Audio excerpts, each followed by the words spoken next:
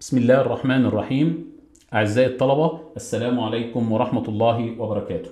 إن شاء الله استكمالا ل course ال soil mechanics إن شاء الله استكمالا برضك ل chapter 1 اللي هو المقدمة عن ال course. هنتكلم النهاردة على part 3 اللي هو contents of the course. يعني ال course بتاعنا إيه مكوناته؟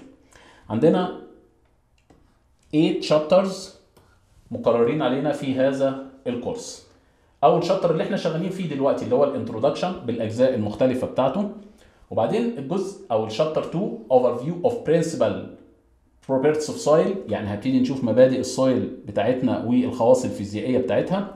وهندرس ال seepage in soil وهنا هنبتدي بقى نتكلم في الخواص الهيدروليكية لل soil بالإضافة لل stresses طبعا ده بقى دخلنا في ال soil mechanics أو الخواص الميكانيكية لل soil chapter 5 عبارة عن ال shear strength of soil هندرس ال shear strength بتاعنا.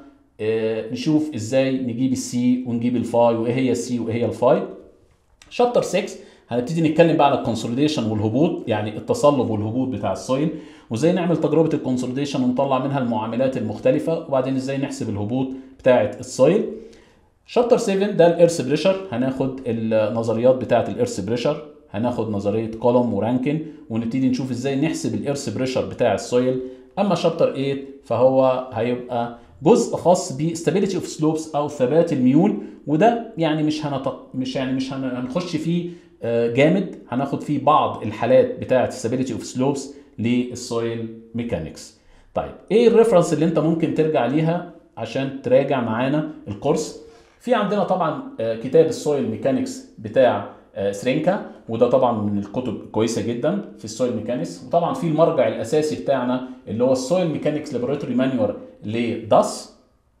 وممكن كمان تقدر تخش في ال advanced soil mechanics برضك لداس من الكتب المهمة جدا في ال soil mechanics إن شاء الله تستمتعوا معانا في ال course بتاعنا. ولو في أي استفسار ممكن تكتبه تحت الفيديو وإحنا نجاوب لك عليه.